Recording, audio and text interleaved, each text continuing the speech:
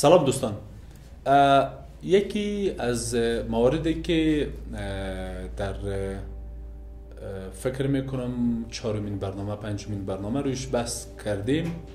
او آنچه که نباید در نامزدی انجام بدیم بود. و در اون موارد یک موردی بود که ما نباید در جریان نامزدی رابطه جنسی بگیریم. و بعد از او برنامه سوالات عجیب و غریب را دوستان مطرح کردن و بعضیا دلایل این مسئله را زیاد خواستن و به تفصیل که ما چرا نباید در جریان نامزدی رابطه جنسی را داشته باشیم. لازم دانستم که بعد از این همه کامنت ها رو امروز روی بحث بکنم که چرا در جریان نامزدی رابطه جنسی نداشته باشیم.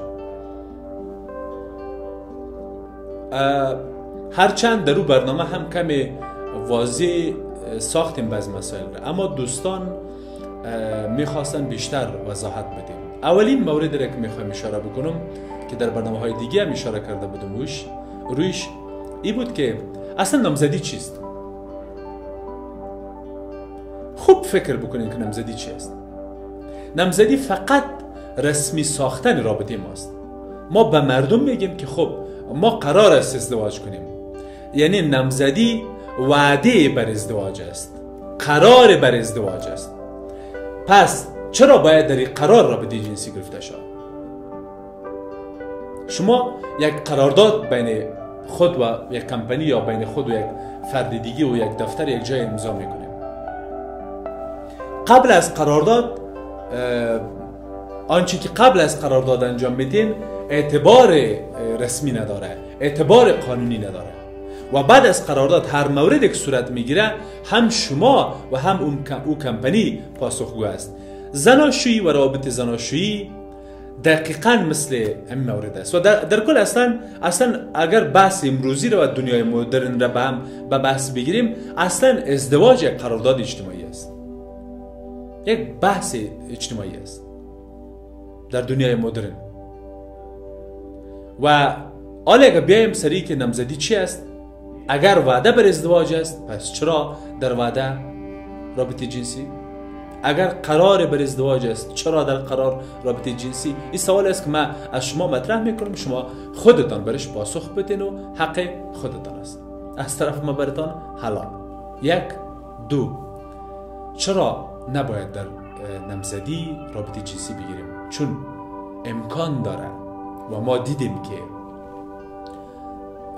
بیشترین از نمزدی ها مشخصا در کابل فسخ میشه. و برای مردم ما برای جوانان ما مسئله ای که شما فقط همسر اونا باشین بسیار مهم میشه. هرچند این خودش یک بحث است که می‌خوایم در یکی از برنامه مفصل رویش بحث شوم یعنی مردم زیاد دوست نداره با کسی که یک دوره زناشویی سپری کرده با یک کسی یک دوره را سپری کرده با یک کسی یک زندگی را سپری کرده با یک کسی یک سلسله از خاطرات سپری کرده با یک کسی رابطه جنسی گرفته ازدواج کنه این در کل دنیا تقریبا مود است. اما در مردم ما و فرهنگ ما و ما افغان ها بیشتر مود است بیشتر فرهنگ است و بیشتر جدی است. حالی که چرا جدی است جدی باشه نباشه یک بحث جدا است اما حالی که جدی شده من پیشنهاد می‌کنم که قبل از ازدواج نباید روابط زناشویی جنسی برقرار شد دو به خاطر که شاید فسخ شد سوم نکته سوم رو که می‌خوایم اشاره کنم چرا ازدواج کنم؟ سوال دیگه رو که می‌خوایم مطرح بکنم. ما دختران زیاد رو می‌شناسم خانمای زیاد رو می‌شناسم که به ما گفتن که همسرم به ما گفت که خب هر چی که بود شد.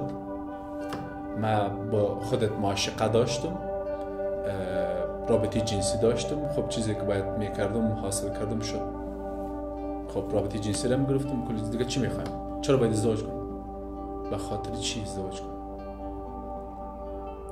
این شاید زیاد برخورد خوب نباشه سالم نباشه اما اینمی برخورد ناسالم را ناخوب را نامناسب را نادرست را بعضی از جوانان جامعه ما انجام میدن. حتی کسانی را می‌شناسم که بار سوم از نمزدیش فسخ میشن. و بالاخره به مشکلش طور پی بردم که او فقط می‌خواه به نام نمزدی بره و با هر دختری که نمزد میشه یک سال دو سال را با معاشقه با رابطه جنسی بگذرانه بعد فسخ کنه با کسی دیگه به یک رقم دیگه به یک شکل دیگه رابطه جنسی بگیره. او را یک چند ماه بعد فسخ کنه باز به یک کسی دیگه. به منوال می‌خواه که شرعی و قانونی نیازهای جنسیش را با هر کسی به شکل از اشکال پیش ببره اگر قرار باشه که شما از قربانیان باشین پس توصیه میشه که هیچ وقت قبل از ازدواج به رابطه جنسی نپردازین. قربانی هوس بعضی از عزیزان ما نشوید اگر خودتان هم می‌خواین این کار نکنین. استاد خودم خواستم. خودم نیاز دیدم. به خودم گیرا بود دلچسب بود هیجان بود. شیرینیش برای خودم بود. خودم خواستم زودتر لذت ببرم. خب خودتم که میخوایی خب من توصیه نمی‌کنم. چون میدانه که مشکلات گوناگونی رو برات ایجاد بکنه. بعضی از مردان به خاطری که هیجان بر ازدواج داشته باشه ازدواج می‌کنن. به خاطری که هیجان بر رابطه جنسی داشته باشه ازدواج می‌کنن. هرچند هم شاید زیاد قوی و مورد قوی و نکته قوی نباشه که ما برای شما میگم. اما به هر حال یک مورد است. نکته چهارم که می‌خوایم اشاره بکنم وابستگی است.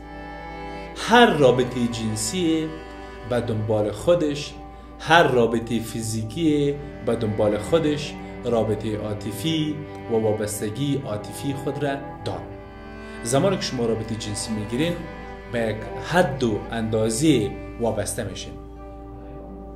وابسته میشین. شما به کسی وابسته میشین اگر رابطه جنسی بگیرین. پس به خاطری که وابسته نشین رابطه جنسی قبل از ازدواج نگیرین. نکته پنجم هم حمل است.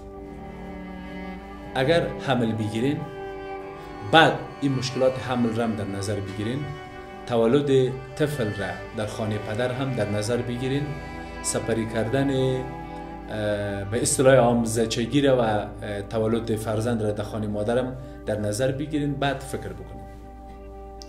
ششم شکستن تقدس ازدواج است. شما با این کارتان مقدس بودن ازدواج را مشکنانید. ازدواج و شب زفاف یا شب اول زفاف خودش یک یک تقدس است. یک موضوع یک مورد بسیار مهم است. و شما او را و جذابیت او شب را قبل از ازدواج از بین می‌برید. مشکلات نکته هفتم هم مشکلات فرهنگی است. مشکلات و مسائل فرهنگی است. فرهنگ شما و, و افغانستانی که شما در زندگی می‌کنید از چه فرهنگی برخوردار است؟ شما با این فرهنگ لازم می‌بینین لازم می‌دانین بعد می‌تونین مدیریتش کنین یا نه؟ اشتم و آخرین نکته نگرش های منفی است. بعد از ازدواج بعد از تشکیل خانواده شما با روی که با همسرتان روبرو میشین با با های منفی و نگرش های مختلف و منفی که روبرو میشین می‌فهمین چی خواد بود؟ می‌فهمین نگاه همسرتان بعد از ازدواج نسبت به شما چی خواد بود؟ چه فکری نسبت به شما خواهد داشت؟ روی مسئله هم فکر بکنید اما دوستان اگر سوال دیگی بود در خصوص رابطه جنسی در جریان نمزدی و امثال و موارد حتما با ما شریکش بسازید سلامت باشید